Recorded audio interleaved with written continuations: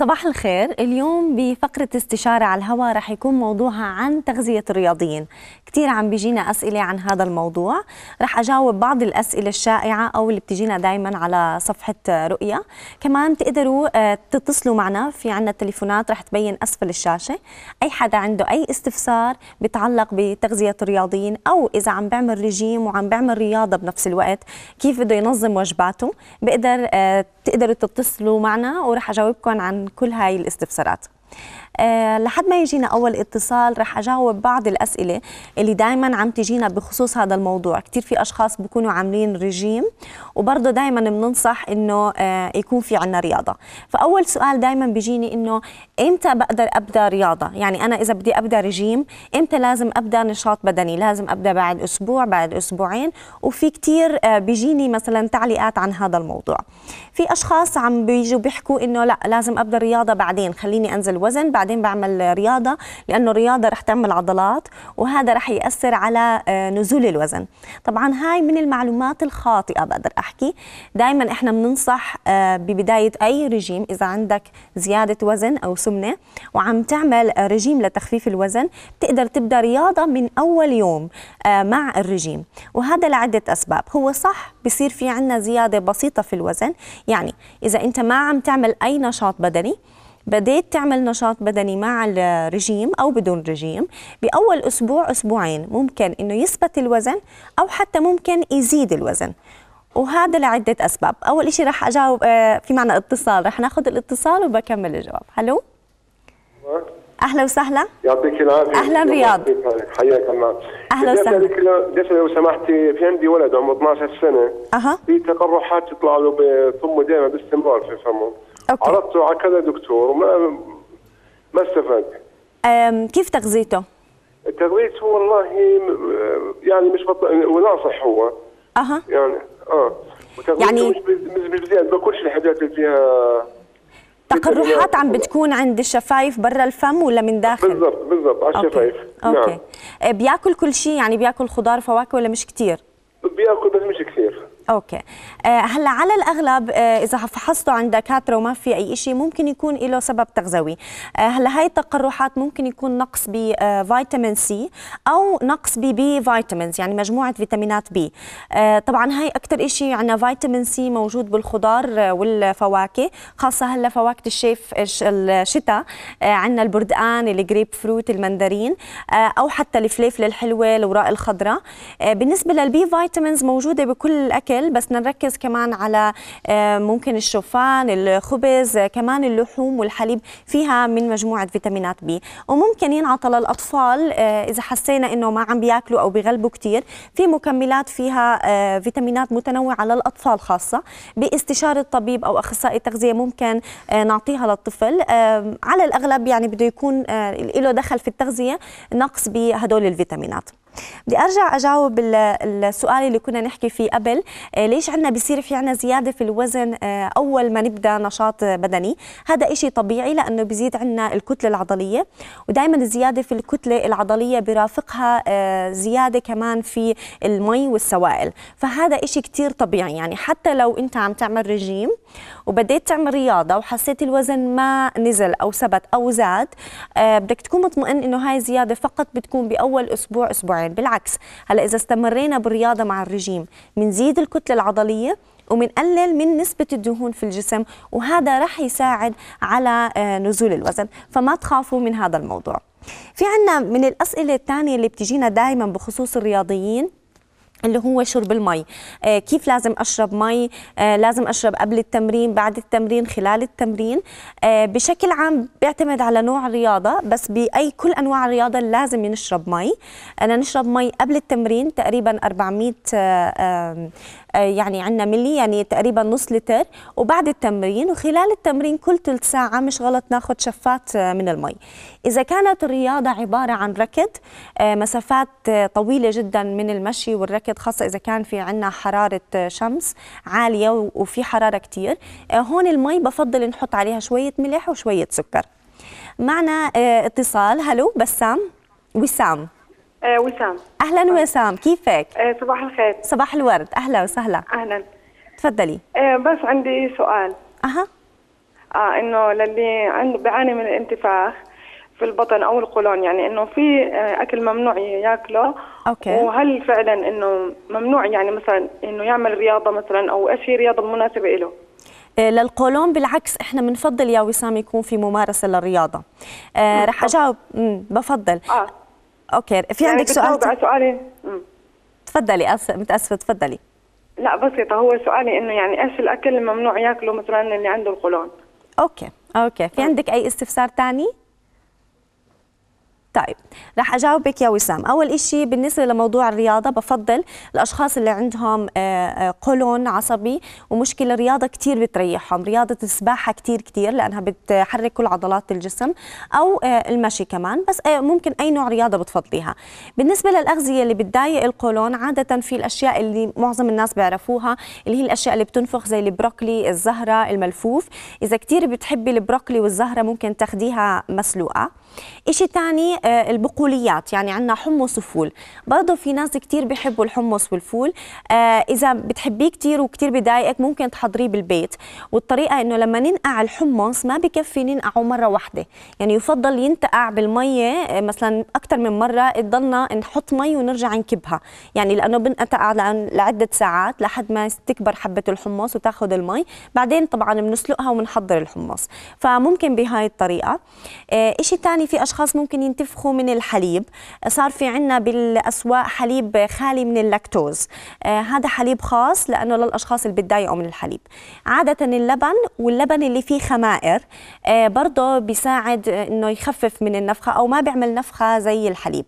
في ممكن أشياء تانية في أشخاص أجبان يعني أجبان صفراء أجبان بيضة ممكن تعمل نفخة. آه، في أشخاص ممكن يتضايقوا من ال- الخبز الأسمر أو النخاله آه، طبعا بدك تعملي زي آه، كتيب لإلك.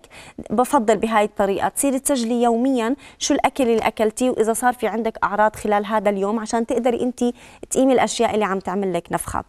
وبس كمان في عنا بال آه، طبعا باستشارة طبية عم بنعطى بالصيدليات زي بكتيريا الخمائر المفيدة بتنشرب آه، بتنعطى آه، يعني أو في حبوب. طبعا هاي باستشارة الطبيب ممكن تساعد إنها تزيد من الميكروفلورا أو البكتيريا المفيدة في الأمعاء وتخفف من أعراض النفخة. معنا نادين. hello؟ ألو أهلا يا نادين. صباح الخير. صباح الورد. كيفك؟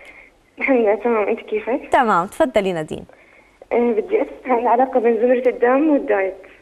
زمرة الدم والدايت. أوكي. عندك سؤال تاني؟ آه هلأ إنه أنا بعرف إنه اللي بتكون زمرتهم O أكثر إنه المفروض ياكلوا خضرة. واللي زمرتهم أو المفروض يأكلوا آه لحمة وهيك أشياء. صح صح. هلأ هذا صح بالنسبة للمعلومات اللي طلعت أو ال- اللي بنقدر نحكي الافتراضية اللي طلعت عن هذا الرجيم. ولكن لهلأ ما في أي إثبات علمي. كان في عالم آه، حكى إنه في عندنا علاقة ما بين زمرة الدم وتناول الأغذية ولكن إحنا ما بنفضل هاي الحمية لأنه لهلأ غير مثبتة علميا. خاصة للأشخاص اللي زمرة دمهم O بدهم يركزوا على اللحوم إحنا بنخاف من أعراض ثانية يصير في عندنا ارتفاع في الكوليسترول ومشاكل في القلب. فكمان الأشخاص زي ما قلتي اللي هم مثلا بدهم ياخذوا فقط خضار بنخاف من نقص الحديد وال B 12 والزنك.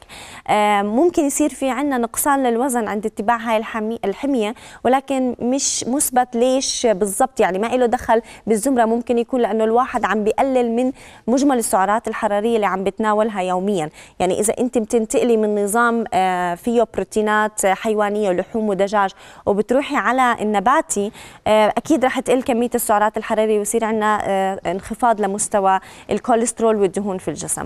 فلهلا ما في إثبات علمي ما بفضل آه، نتبع هاي الحميات حتى لو صار في عندنا نزول للوزن. لأنه دائما إحنا بأي حمية ما بنقدر نقيمها إذا هي صح أو غلط فقط من منطلق إنه صار في عندنا نزول للوزن. لأنه اللي بهمنا أكثر إنه هو نزول الوزن صار من وين؟ هل هو من العضلات؟ هل هو من الدهون؟ آه، إيش المشاكل؟ في أشخاص بيعملوا حميات كثير انشهرت آه، بأوقاتنا هلأ وبكون في عنا نزول لكمية كبيرة من الوزن ولكن بيكتشفوا بعد فترة إنه شعرهم صار يتساقط مستوى الحديد صار آه، واطي جدا. معنا اتصال هلو؟ ألو السلام عليكم. بلال أهلا. أم بلال بلال. تفضلي أهلا. آه أنا عندي أولاد اثنين واحد عمره ست سنين والثاني خمس سنين جايين ورا بعض يعني. أوكي. الاثنين نحاف كثير كثير يعني. ما الكبير عندي يعني أكل أكله خفيف أصلا وإذا حليب بشرب يعني حليب كمية حليب عادي بشرب أما أكل كاكل ما باكل إلا إذا جاع كثير. يعني غدا ما بتغدوا؟ أه، بحط أنا غدا وبعمل وبعمل لهم إغراءات انه ياكلوا كذا بس يعني أكله خفيف هو. هذاك الثاني لا أكله طبيعي بس ما بنصح. okay. هلا بدي أسألك كم من سؤال. هلا هم بياكلوا ثلاث وجبات أساسية؟ يعني بفطر بتغدى بتعشى؟ أنا أنا بعمل لهم ثلاث وجبات أساسية واثنين snack. okay. هلا نفس الوجبة بياكل نصها؟ يعني بياكل نص الكمية ولا برفضها تماما؟ لا الصغير باكل الكمية كاملة. كاملة. الكبير آه الكبير لا باكل نصها ربعها نصها, نصها ربع حسب حسب okay. اللي هو آه. هل بتحسي إنه في زيادة في الوزن مستمرة ولا عم بضعفوا مع مرور الوقت؟ لا ما بنحفوا بس وزنهم هو هو يعني ما بنصحوش. okay. بين يعني الوجبات بين الوجبات بياكلوا أشياء بياكلوا حلو بياكلوا تشيبس بياكلوا والله أو أول كنت أعمل فشار آه، آه، شوكولاتات أشياء هيك شيء بدي إياه يعني يزيد وزنهم مم. بس هسه حاليا لا وقفت كل شيء اسمه شوكولاتة طيب ممتاز هلأ آه. منيح اللي عملتي هيك لأنه إحنا إذا بدنا نزيد وزنهم آه على الأغلب من الأشياء اللي حكيتي لي إياها ما بتخيل عندهم مشكلة كبيرة. هلا مرات إحنا الأهل بنعتقد آه إنه الطفل لازم يأكل كل الكمية اللي بنحطها في الصحن. آه الطفل من عمر ثلاثة حتى من عمر سنتين لخمسة ممكن يختلف تناولهم الطعام من فترة للثانيه بسبب عدة عوامل. آه شيء كثير منيح لأنه إحنا ما رح نزيد وزنهم بالشوكولاتة والتشيبس والحلويات فمنيح إنه وقفتيها.